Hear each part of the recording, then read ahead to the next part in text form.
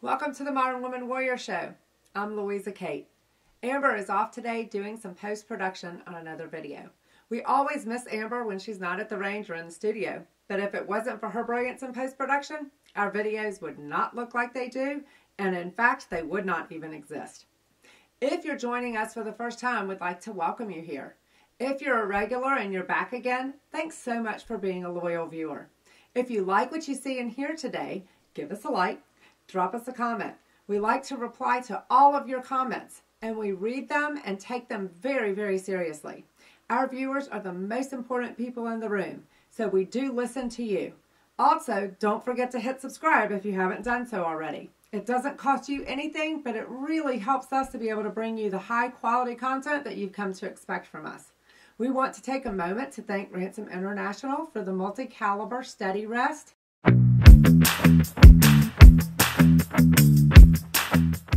Really appreciate your support. Here is some of what is coming up later in this episode, so don't go anywhere.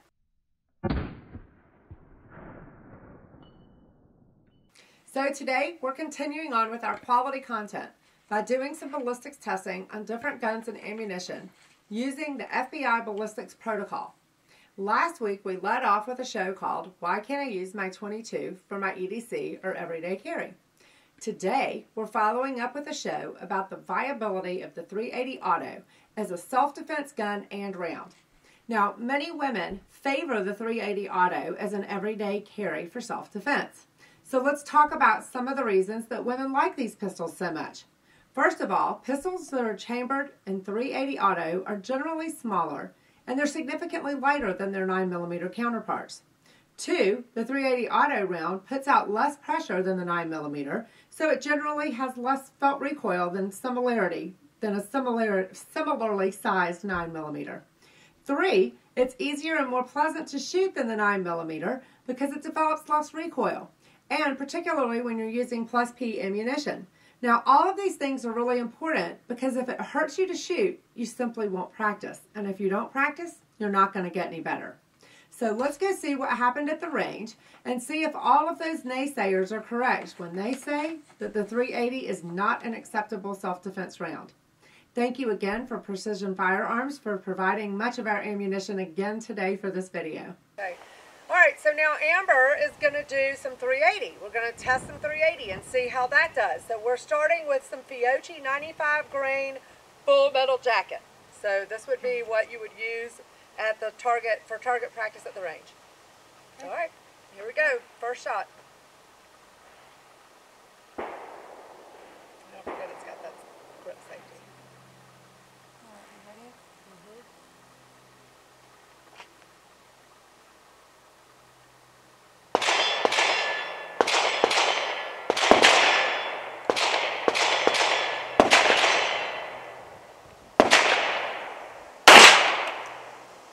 what's our velocity on that one? 946.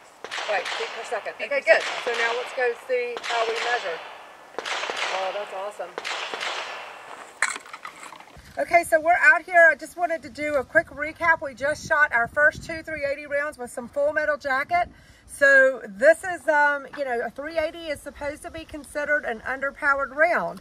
So here we go. Our first one actually was a little bit misaligned on the rest. So it came through like this. There. And uh, it came through down here. And then it came through like this and exited the gel and came over here and hit our wall and went through a whole wall and half of the other wall. It, it penetrated this but did not come through on the other side. so that's pretty uh, amazing. And at 946 feet per second, it's still subsonic. All right, so this is our second shot with the Fiocchi 95 grain full metal jacket. Let's see how many feet per second this gives us.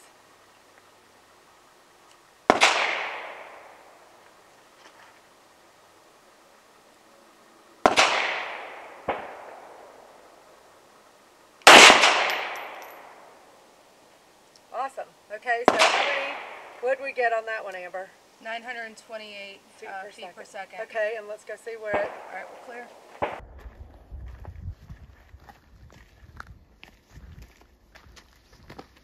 It was, it ended up going straight. Didn't know, so it was number two. Do you want to go ahead and label it? Yeah, label that one one. one. I'd label it up here. right here. Yeah, is where it One. exited, and then this one's two, but it's actually, Hold on. Right, did it go right there? Is that it?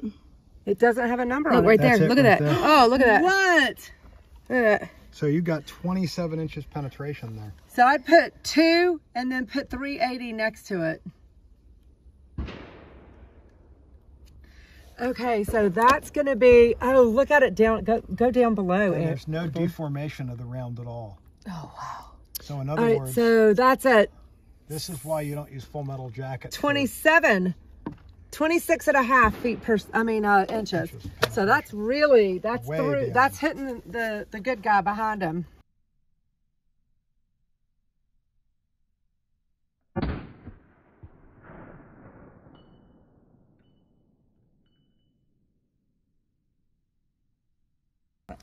Okay, so now we're going to look at our second round with that 380 uh, full metal jacket. So this one actually was 928 feet per second, and uh, it, it entered here. It came all the way through and went all the way to 27 inches. Now, that was really very cool. You could see that we used the multi-caliber ransom steady rest to hold the gun still while we shot into the gel but we were still able to aim where we needed to in order to get multiple rounds into each gel block. I have so much fun doing the gel testing, and I was really surprised by how much the quote unquote underpowered 380 auto penetrated. The first shot was a bit offline, so it broke out of the gel block after 14 inches, and then it blew right through the interior wall behind it. Now, what does that mean for us as far as self defense? Well, it means that it could have gone through the person attacking me out of that room and still had enough velocity, velocity left to go through the interior wall of the next room as well. Now, the second full metal jacket shot stayed in the gel blocks, but it really overpenetrated. Remember, the FBI maximum penetration is 18 inches. This one penetrated to 27 inches. That is more than 30% deeper than the FBI protocol allows.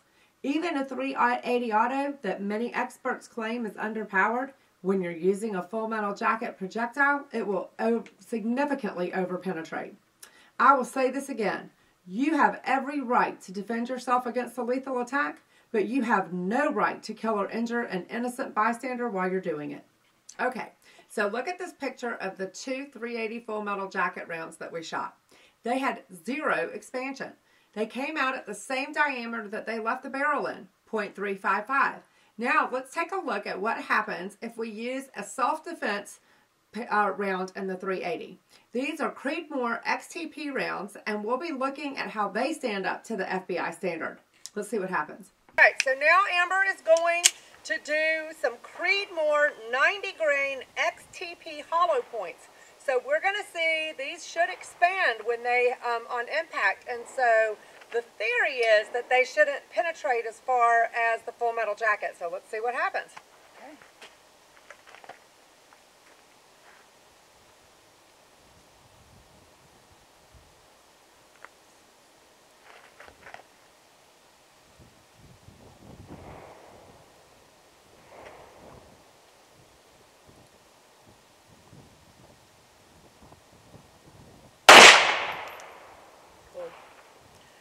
Clear. All right, that was 1,077 feet per second. 1,077 feet per second. Okay, let's see what it did here. Wow, okay, Oh, so wow. it was a little bigger coming in. Oh, it sure didn't. Look at that, says it did expand. You can see how it expanded, and it's at about right at, well, 11, not quite 12 inches. That's incredible. It's a little less than 12. We are really starting to get some interesting data here. The first Creedmoor 380 XTP went through the chronograph at 1,077 feet per second and penetrated just short of the 12 inches at 11 and 3 quarters inches. And the bullet expanded significantly from 0.355 to 0.50. Now that is 1.4 times the original diameter of the bullet when it left the barrel. Although that is less than the factor of 1.6 that the FBI specifies, it is still pretty significant. So let's go back to the range and see how the second Creedmoor XTP does. Okay, so here Amber's going to do our second shot with the Creedmoor 90 grain XTP hollow point. You ready? Yep.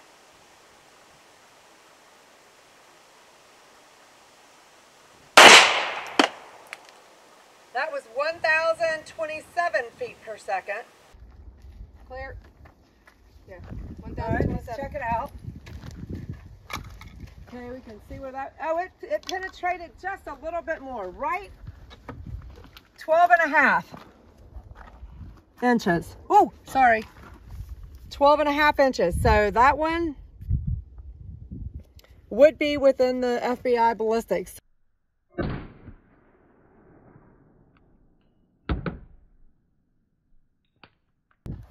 So this one went to about 12 and a half inches. And, you know, there's a lot of people out there that will accept 380 and say that 380 is a defensive round. And I actually carried a 380 when I first started carrying concealed, but when I started to do the research on my own and we're getting ready to do the nine millimeter, then you'll have to decide for yourself. I carry a nine now instead of a 380. This is why the um, people will consider this to be an okay defensive round. That was really interesting.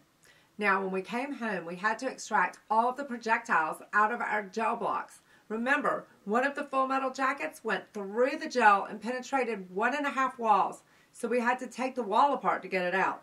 As you can see, there is a lot of follow-up work that's required to get all of the numbers that we're giving you. This is the picture of me working on a micrometer to measure the exact amount of the expansion that occurs with every round that we test. I would like to thank Precision Firearms again for their support. They provided us with today's ammunition, and this makes it possible for us to test different kinds of ammunition and different calibers. Thanks again, Chris. Make sure you go over and visit his website, and if you live in Savannah, head over to their store on Victory Drive. Okay, so let's review what we've learned here today. We tested the 380 Auto 95 grain Fiocchi full metal jacket round. The first round's velocity was 946 feet per second, and the second round's velocity was 928 feet per second. This gives us an average velocity of 937 feet per second. Now, although the velocity is well below the speed of sound, since it is a full metal jacket, it dramatically overpenetrated.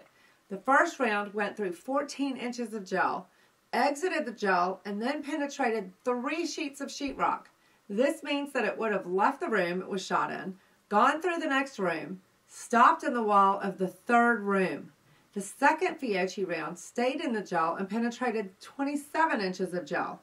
That's 30 plus percent over the penetration that the FBI recommends. As you can see, there's no deformation or expansion of the round that makes a full metal jacket 380 auto round a flat failure as a self-defense round based on our FBI protocol. Now let's look at how the Creedmoor 90 grain XTP rounds performed.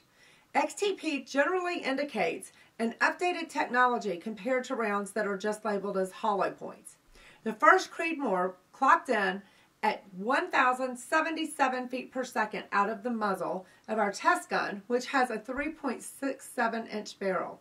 It penetrated 11.75 inches in the 10% FBI spec clear ballistic gel. Now, this is just a quarter of an inch below the FBI spec. So let's look at the expansion. You can see as I pull the projectile from the gel, there is a significant amount of expansion.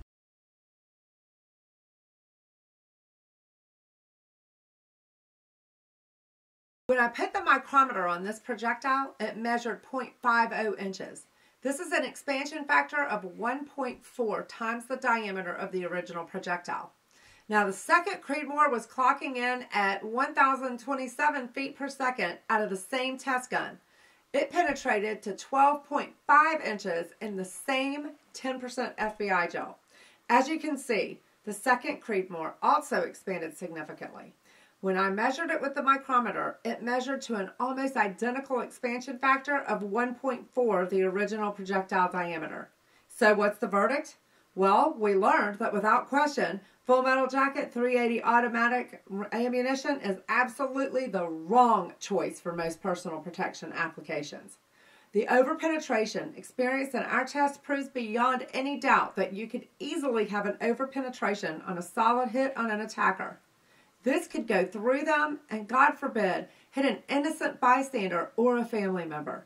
So use your less expensive full metal ammo for the range and buy high quality self defense rounds for your CCW. I would like to thank Ransom International again for the multi-caliber steady rest. You have been so supportive of us from the beginning. If you like what you see in here on our channel, please head on over to Ransom International's channel after we're done here and give them a like and hit subscribe for them as well. It really will help them out. We also learned that even high quality self-defense ammunition in 380 auto is at best a marginal self-defense round. Our Creedmoor 90 grain XTP rounds averaged a surprising 1,052 feet per second between the two test shots. Although this is a subsonic round, it still has a significant punch for a 380 auto round, delivering 225 foot-pounds of energy at the muzzle. Because the two rounds tested averaged a respectable 12 and a quarter inches penetration in the gel block test, that level of penetration barely creeps over the minimum amount of penetration accepted by the FBI protocol. Now, as far as the expansion of the rounds, both XTP rounds expanded by a factor of 1.40 over their original diameter. This is significantly below the FBI standard of 1.6 times the original. Now, this leads me to believe that in a best case scenario, the 380 auto is a marginal self-defense round, even if you're using a good hollow point or self-defense uh, defensive round. Now, keep in mind that we shot these rounds straight into the gel blocks. We didn't even put any type of clothing barrier between the gun and the gel. I'm not sure how much a t-shirt and a sweatshirt would change these results, but I'm pretty sure that a heavy leather coat or a jacket might significantly decrease that marginal performance that we documented. Where does this leave us? Well, a 380 auto with good defensive ammunition is a better self-defense platform than any 22 long rifle or 25 ACP. But it is far less than ideal. On the other hand, if you have a physical issue that limits you to the weight and recoil of a 380 auto and you can shoot it well, then for uh, with good self-defense ammo, it's very possibly the best choice that you can make. If that is the case, then practicing becomes even more important. To a great extent, the term stopping power is a myth. The thing that really matters once you get up to the load like a 380 is shot placement. Now, this is the most important factor whether you're shooting 9mm, 40 caliber, 10mm, or even 45 auto but it's even more critical if you're using a caliber that's marginal for self-defense. Finally, another factor to consider is the frequently 380 autos are fed through a single stack magazine. My Smith & Wesson 380 EZ that I carried for about a year holds 8 in the magazine and 1 in the chamber.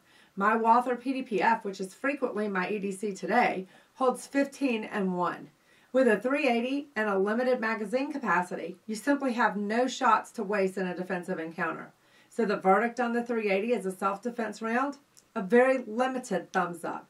If your physical abilities or other situation gives you no choice, but if that is the case, then train smart.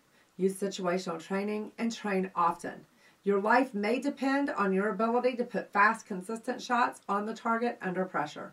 We certainly hope that you enjoyed this today as much as we enjoyed bringing it to you. Thanks again to Precision Firearms and Ransom International for your support. Please give a thumbs up, hit the subscribe button, and don't forget to leave us a comment. See you next Tuesday.